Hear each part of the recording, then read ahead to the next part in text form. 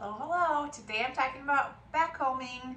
So there's lots of different ways to backcomb and a lot of reasons why you backcomb your updos. Today I'm going to be talking about updo backcombing for volume. So I'm Heidi with Updo Collective. Love to teach everything about updos, especially to beginners. And what I'm talking about here is creating volume in the crown and kind of throughout so that when you look straight on the hair, you see that nice lift, okay? So there's a couple different techniques to do that, and that's what I want to talk about today and just give you some of the best tools and techniques that I do to make sure that your back combing is really smooth, polished, and it doesn't look awkward or like the weird Snooki bump, okay? So what you wanna do is make sure, first of all, that you have the right comb.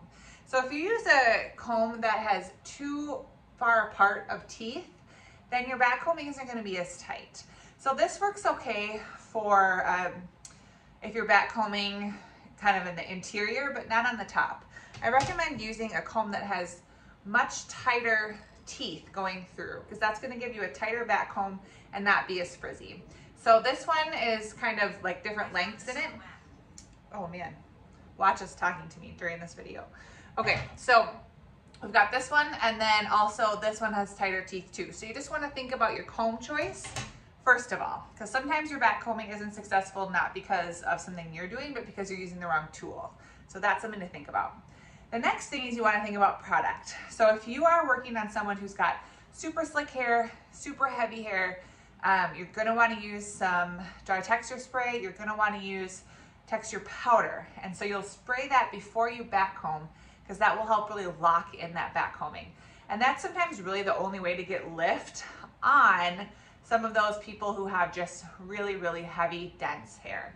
Now, the last thing is, is you wanna be really light with your touch if you're working with someone who's got thin, fine hair, because working with thin, fine hair, that's where you start to see all that rattiness going on, and that's not pretty either.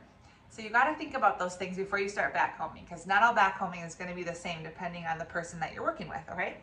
So one technique that you can use right off the bat is, let's say we're gonna start with our volume right here at this part line. I take just a thin, like half inch section and push that away so I'm not back combing that top piece. So I have something to pull over the top for it to be smooth. So I'm gonna go through and just take about a half an inch or so thickness of hair here. And we're gonna just lift it out of the way. So this is what's gonna come over the top to kind of cover up this back combing.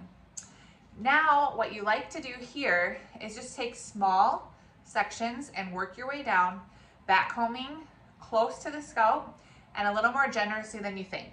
It's, you can always pull down back combing to create less volume, but you can't make more come up without it looking messy and seeing through it, seeing holes in it, if your person wants more. So I recommend erring on the side of bigger because it's easier to pull that down than it is to raise it up, okay? So the other thing that you wanna think about is the shape of the head. You don't wanna just go down through the middle and do a lot of back combing and forget about the sides. The head is round, right? So we kinda wanna do a rounded shape of our back combing to make sure it looks balanced and really nice and even. So I start on one side and kind of work my way to the other, or I'll start in the middle and go back and forth to make sure I'm being really balanced as I go. But for your sake, I'll start here so you can see. And what you wanna do is hold the hair up directly like from where it grows, straight up, okay? Because that will create a really natural, nice back combing. If your person is wanting like some major volume, like a lot of lift, then you wanna over direct. So that means bringing it farther forward from where it grows and back combing starting in that direction. So depending on how you hold the hair will show you how big that volume is gonna be. So if you want just nice natural, hold it from how it grows. And we're just gonna go about two inches up and hold the hair loosely in your fingers and push down two or three times. And then flip it over. And then following that pattern, continue on. So this blondie mannequin head I have here holds back combing just beautifully because her hair is so damaged. But if her hair was not damaged, then what I would want to do is come back through and I'm gonna use product this time. She already's got some product in here, which is why I'm having a hard time sectioning it for you. She needs a good clarifying shampoo. Okay, backcombing before, or I'm gonna backcomb after I use the texture spray. So I'm backcombing or spraying at the root and then doing the same technique. And it just helps really lock that in. And then following the shape of the head. So you kind of want to stand in front of your work and that will ensure that you have nice even back combing all the way throughout. So I'm coming all the way out to my sectioning out here as I go and just following the rounded shape of the head. And so as you go, what you'll notice is the hair grows at different angles as you go. So you just wanna follow the angle of the hair so it looks really natural. And you can do this until about the midway point of where you're gonna start your updo. So if you just want a little volume in the crown, then about where I'm at now will be enough. If you wanna have volume that kind of goes all the way down to the nape, then you wanna keep this process up all the way down to the nape. So I'm going back and forth between using the texture spray and not because um, for this sake, her hair is kind of taking it all in the same. But you'll have to just make that call based on your client. I'm gonna go just a little bit more here. Okay, now that that's done, now I can pull it all down. So I'm pulling it all over. You can see, wowza, we have some great lift.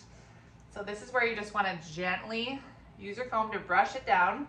So I'm not even pulling the comb through the hair. I'm just brushing over the top to get the shape that I want and dispersing the section that I left out over the top. So as I disperse it, it kind of covers up any of the back combing that you would see.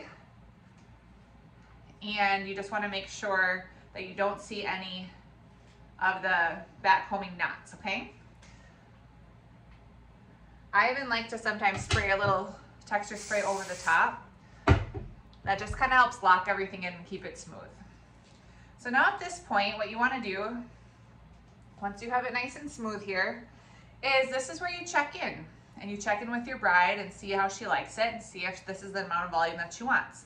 Now the great thing about this backcombing is one, when you pull it in, you can see it's got some great lift and it's kind of bouncy, okay? So you have movement in it and you can pin into it if you need to. The other great thing is that when you've done the work of the good backcombing in a really nice clean way, if they want a little bit more lift in here, you can take the end of your tail comb and slide it in and just lift. So you can get yourself some more lift by just doing like this throughout if she needs a little bit more. So even if you have it like loosely pinned or you just kind of bring it back to kind of get an idea of how you want it to be pinned, then you can take your comb like this and just pull it out and shape it before you even pin it.